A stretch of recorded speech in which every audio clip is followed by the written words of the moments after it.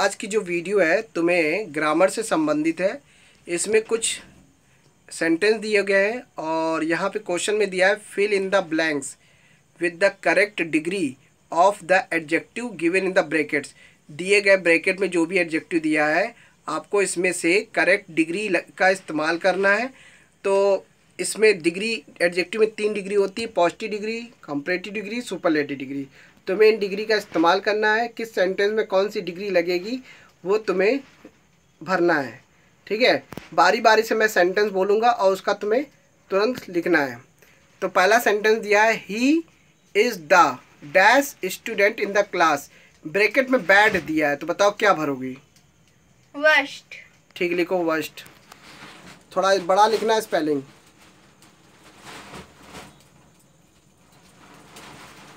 ठीक है very good फिर सेकंड सेकंड सेंटेंस में the girl is dash then the boy bracket में दिया थिन क्या भरा जाएगा? थिनर ठीक है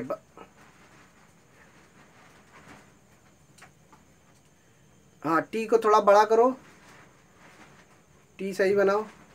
हाँ ठीक है। फिर थर्ड पॉइंट में थोड़ा साइड हो। फिर लिखा है which is the dash peak in the world bracket में दिया हाई। तुम्हें इसमें क्या बनना है?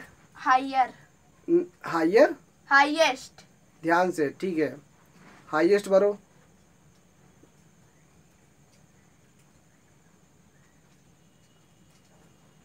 ठीक है। फिर लिखा है फोर्थ पॉइंट में the first exercise is dash then the second. Bracket में दिया है डिफ़िकल्ट। क्या भरा जाएगा? More difficult. ठीक है।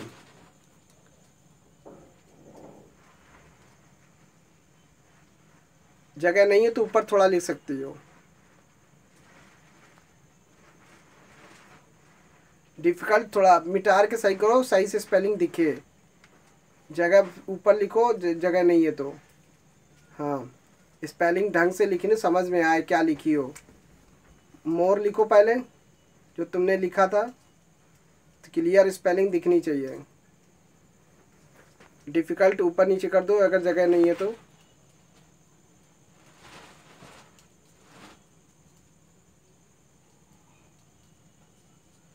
स्पेलिंग छोटी कर दिया तुमने फिर। चलो ठीक है ध्यान रखना आपकी बार स्पेलिंग बड़ी रखना। है तो तुमने ब्रैकेट में मोर डिफ़िकल्ट भरा है ठीक है। और नेक्स्ट पॉइंट क्या है? Kolkata is the dash city of India तो बताओ इसमें क्या भरा जाएगा? लार्जेस्ट ठीक है लार्जेस्ट भरो।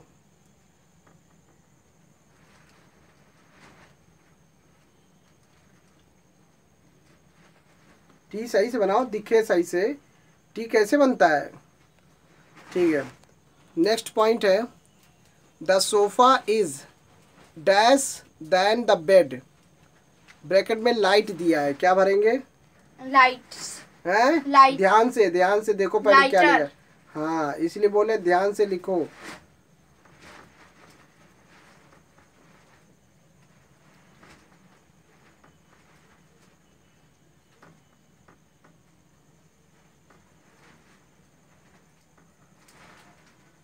स्पेलिंग देखो कहाँ गड़बड़ कर रही हो? लाइटर की स्पेलिंग ये लिखा गया है। हैं? ध्यान से देखती नहीं हो इस ब्रैकेट में कुछ और लाइट की स्पेलिंग है। सही से टी बनाओ। हाँ। ठीक है वेरी गुड फिर नेक्स्ट क्या है? Ram is as dash as his brother bracket में दिया गुड बताओ क्या भरा जाएगा? गुड ठीक है। नेक्स्ट है Meena is not so dash as her friend bracket में दिया टॉल टॉल क्या भरा जाएगा? टॉल ठीक है टॉल लिखो। सही से एल नहीं दिख रहा छोटा छोटा बना दियो। कितनी बार बताए तुमको स्पेलिंग थोड़ा बड़ा लिखो लेकिन तुम्हें समझ में नहीं आता है। ठीक है। फिर नेक्स्ट पॉइंट है she is the dash girl in the school bracket में दिया है लक्की लकियर क्या ध्यान से देखो क्या है? ध्यान से पहले सेंटेंस पे ध्यान दो क्या है? बताओ क्या भरेंगे? लक्की का क्या होगा?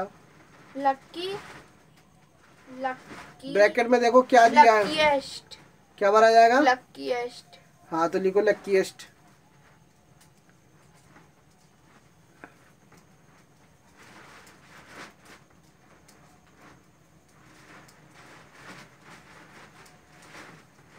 मिटार के करो बड़ा। बार बार तुमको समझा रहे हैं लेकिन तुम्हें समझ में नहीं आ रहा है। स्पेलिंग बड़ी नहीं लिखने आ रहा तुमको।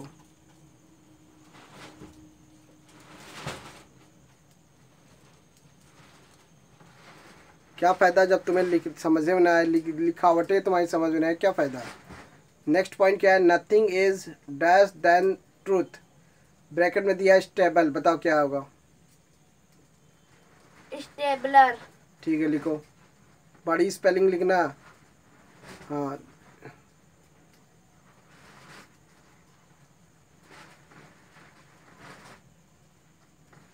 ठीक है एक बार पढ़ के सुनाओ क्या लिखा है तुमने। ही इज़ द worst